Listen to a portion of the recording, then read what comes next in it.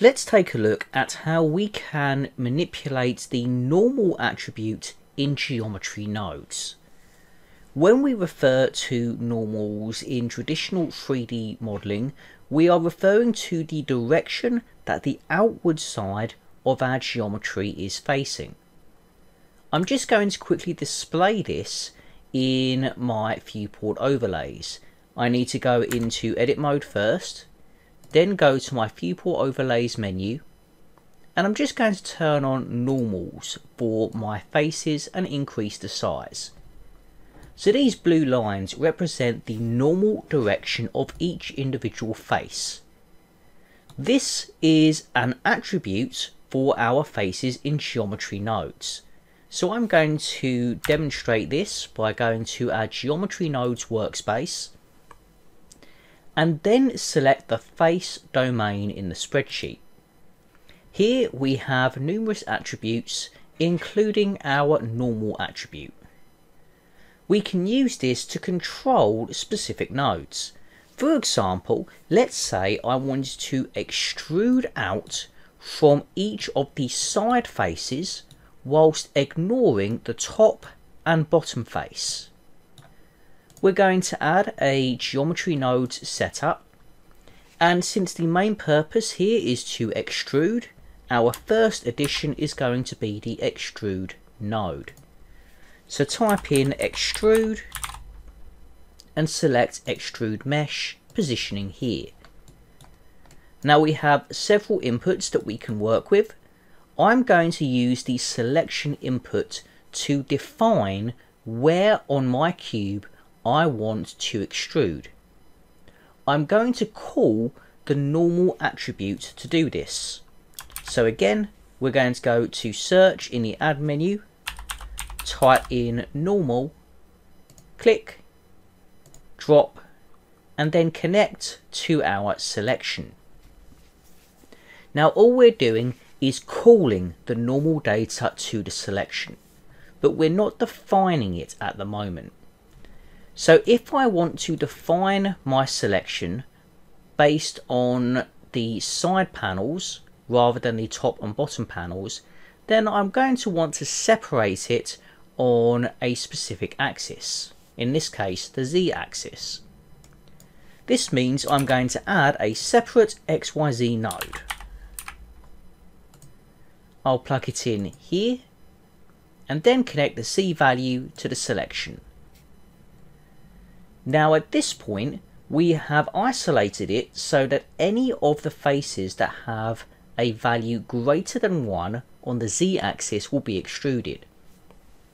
If we take a look at our spreadsheet, only point 0 or face 0 in this case has a z value higher than 1. So it is allowed to be extruded based on our definition using the normal attribute. We can confirm this by manipulating the offset scale, which allows us to resize our cube based off of this single face. Now we want to flip this and focus on the side faces. I can do this by telling Blender, for example, to only extrude faces that have a Z value equal to a specific amount. In this case, I'm going to use the value of 0. Now the best node here to do this is going to be a compare node. So the method I'm going to choose is to add a math node and position it here. At the moment, this add node has influenced our extrude mesh node so that all of the faces are extruded except for the bottom one. I'm going to change this from add and I'm going to select now I'm going to change this value here to 0. As soon as I do that, the top face no longer extrudes, and neither does the bottom. So with the compare node, we have the main value, which is based on the z-axis for our normal attribute, and that means that we are referring to this column here in our normal attribute of the spreadsheet. So what we're doing is if I just mute this, we're telling Blender to find all of the values of the faces on the z-axis for their normal attribute. If that value is 0, then it will be extruded. There's also the epsilon value, which is sort of like the threshold. So if it's 0.5 either side, then it also falls into the threshold and will be extruded.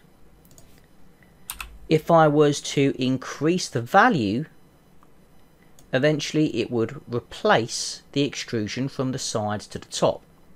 Because now the base value of 0.7 is much higher than the z value of almost all of our faces, but it falls within the epsilon of 0.5 for face 0. I'm just going to revert this back to 0, and now we can confirm that we can manipulate the scale of all of the side faces. And we've done this by defining our selection using the normal attribute. Let's take a look at another similar example. I'm going to replace my cube with a UV sphere. I'll just disconnect this for the moment and I'm going to add a UV sphere as a primitive mesh. Then plug it in here. At the moment we're extruding out all of the points on our model. I'm just going to turn off the individual setting and now it just extrudes or rather scales in all directions. Now if I plug my separate XYZ node directly into the selection, you can now see that any faces that have a normal Z value greater than zero are going to be extruded. If we use the compare node, then as you can see we are able to better define which points we want to extrude. Another example could be to use something like a greater than node and then control the threshold value. So at the moment the threshold is set to 0. If we increase this value then it reduces the number of faces that are extruded because they don't fall within that threshold. These are a couple of examples of being able to control specific nodes using our normal attribute.